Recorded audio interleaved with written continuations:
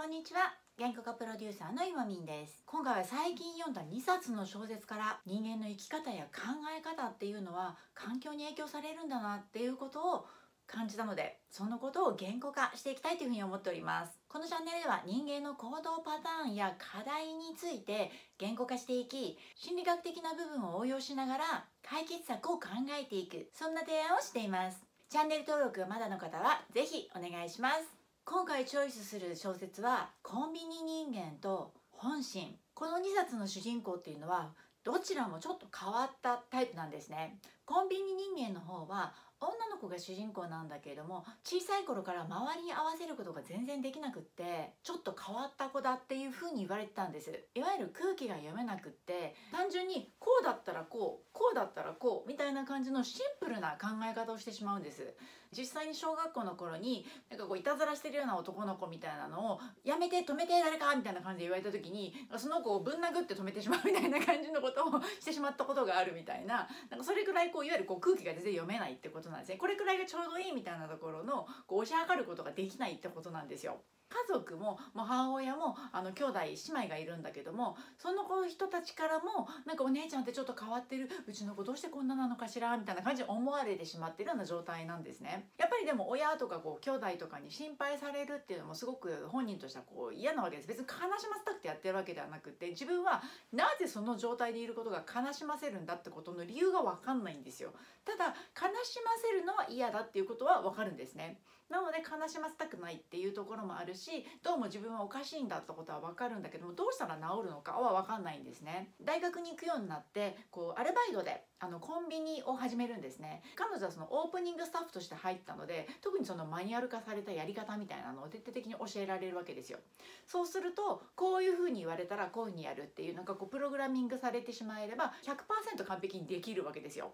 ただ問題は人間関係だけなんですよね。就職活動とかも全然できずしかもアルバイトのままでずっと年老いてしまったっていう状態なんですでも30を過ぎてしまったんだけどもこう本当その大学生の時に始めたそのお店でずっとバイトとしてこう今も生きているっていう状態なわけですよ友達に対しての対応っていうのも自分が本当に心から思って何かを言ってるんじゃなくってこういう時にはこういうことを言うもんだっていうのを他の人の行動パターンを見てそのやり方を自分にインストールして「えやだ!」ってみんなが言ったら自分も「えやだ!」とりあえず言うみたいな感じででこういう時にはこういうことやればいいこういうここういう時にはこういうことやればいいっていうのがその主人公の中にも入っていくからなんとかギリギリ社会生活は営むことができてるわけですよただ思いもかけないことが起きた時には対応する方法が分からないんですね。そうすると虫が入ってきたら殺せばいいみたいな感じのそのシンプルな思考パターンになってしまうのでうまく対応ができなかったりするわけですよ。彼女はもう全然変わらないんですよね。今まで通り同じようにやっていってでも自分の周りはどんどん環境が変わっていくわけですよ。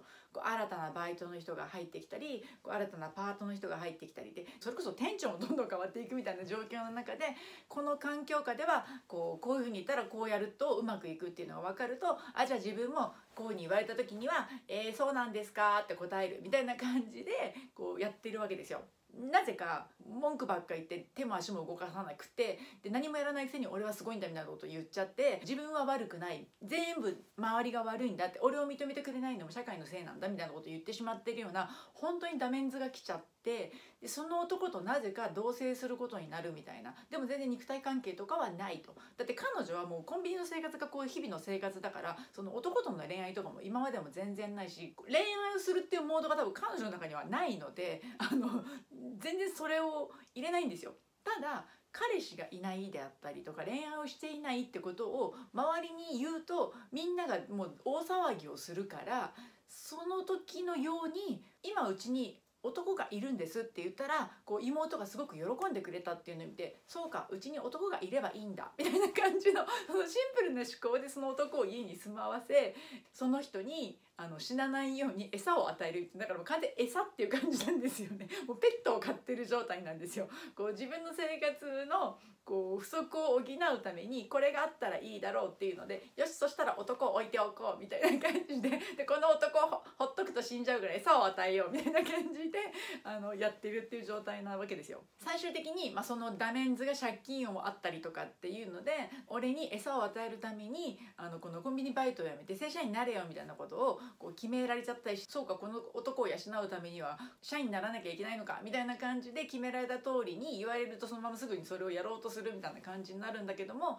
まあ最後は入社試験の前に立ち寄ったコンビニを見てコンビニの中のそういろんな不都合みたいなのに彼女は気づいてしまってこんな状態じゃダメです。今日は何曜日だからもうすぐ何時だからこれをやらなきゃみたいな感じでもう全然関係ないコンビニのこういろんなとこ全部直して歩くみたいなことをしてしまうみたいなことをしてやっぱり私の生きる場所はコンビニだわって思うみたいな感じで物語は終わるわけですよ。一方で本心っていうのは、まあ、ちょっと近未来的なところが舞台になっていて物語の中ではいろいろとその近未来的な要素が出てくるんですけども私が今回注目したのは主人公のこう心の動きってところがすごく気になったのでそこら辺ちょっとこう細かい説明は省くんですけれども主人公っていうのはどちらかというとこう一人でいるようなあんまり友達とつるまないようなタイプの子なわけですよ。そういう意味ではこうコンビニ人間の方の主人公とちょっとやっぱ似てるんですよね。あんまりこう常識的なものにとらわれないというかこうみんなと同じようなところでは生きられないみたいな感じのキャラなんです。で実際に高校生の時に違反をした女の子みたいなのに対して彼女が退学になってしまったっていうのを抗議する活動みたいなのが生徒の中で起こったんですね。でその時に彼は全然友達とかもいないしその抗議運動に参加しようなんていう積極的な思いがあったわけではないんだけれども何かしらやっぱそういうちょっとこう異端なことをやるタイプだったんですよね。座り込みみたいなことをみんなでするんですけどそこに参加をしてでみんないなくなっても彼だけその講義の座り込みを続けたみたいなところもあり高校退学になってしまってそのままこう家にちょっと引きこもり的な感じの生活が続いていってしまいこう仕事っていうのもなかなかこうできないわけですよね。でそんな中でバーチャル空間みたいなところっていうところで自分の世界で生きていくみたいなところが結構比較的好きな仕事として、まあ、その近未来なんでこうリアルアバターっていう仕事があるんですよ。でリアルアバターっていうのはその寝たきりだったりとかお年寄りでもちょっと動きが鈍くなってしまったような方たちに代わって希望を叶えてあげるっていうような行動をするっていうことなんですね。で寝たきりの方だったりとかはその、まあ、VR のグラスをかけるとそのアバターとして彼がこうどっかに行くと自分もその眼鏡を通して本当にどこかを旅してるような気分が体感できるみたいなその頼まれた通りにこうどこかに行って何かをするみたいなことをやるってなんかある意味すごくいい仕事だなって私は思ったんですけれども誰でもできる仕事みたいな感じで言われてるものらしいんですよ。でその近未来はよりこう貧富の差っていうのはすごく広がってしまったもう世の中になっているっていうことなんですねだからそんな中では彼はすごく貧困層の方に維持してしまっているっていう状況があるんですよそしてこう母一人子一人で、まあ、唯一の肉親だった母親も亡くなってしまうみたいな状態になって彼がこの中でこう生きていくっていう中で、まあ、その母のバーチャルアバターみたいな感じで死んじゃった人間を VR 上に蘇らせるみたいなことができるサービスがもうあるんですね。そこで1日に1回このグラスをするとリアルなお母さんがさまざまなデータを入れてるから本当のお母さんにかなり近いんですよね。でしかもこう AI でどんどんこう学習もしていくので話せば話すほどよりお母さんらしくなっていくみたいな感じの状態なんですよ。でそれで今まで通りお母さんとのやり取りをしながらこう自分は今まで通りと同じような生活を今後も続けていこうみたいなのが多分彼の希望だったんですよ。ところがやっぱりお母さんは亡くなってしまっているっていう状態ややっぱりこう世の中が変わっていく中で彼の生活にいろんな変化が訪れてくるんですね。でそんな中でお母さんが生前仲良くしていた女性みたいな人と話をしたりとか彼がやっていたこのリアルアバターという仕事があのあるテロ組織みたいなところと関与していたみたいなことが分かり彼は関係なかったんだけれどもすごくアバターとして嫌な思いをさせられたこととかもあったんですよ。海外移住者みたいな女の子がコンビニの店員かなんかからすごく怒られてしかもそれが本当にただ怒られているじゃなくてもう明らかに差別的な怒られ方をしているみたいな暴言吐かれてしまっているみたいなのを見た時にもうこんなのやめろみたいな感じでやっぱそのやっぱ貧富の差っていうところとかその上下関係みたいなところに対しての怒りがバンってきちゃった。たらしくってもうその場でこんなのおかしいっていう思いをこうその状態の彼女彼女を助けるというよりもそのもう社会の状況みたいなのに対しての文句みたいなのがちょっと溢れてしまってなんだけどもその彼がある意味こう正義の味方的なわけですよ。こう貧富の差というかその暴言を吐いている状態の人たちをそこでこう止めたっていうヒーローになったわけですよ。でその状況を見ていた人が実は動画を撮っていてでその状況その動画っていうのがこう何かしらのこう SNS 的なところにアップされたら彼はヒーローとして有名になってしまったっていう物語なんですね。そんな中で彼の生活が少しずつ変わっていくっていう状況があるんですよ。こう今までは自分が全然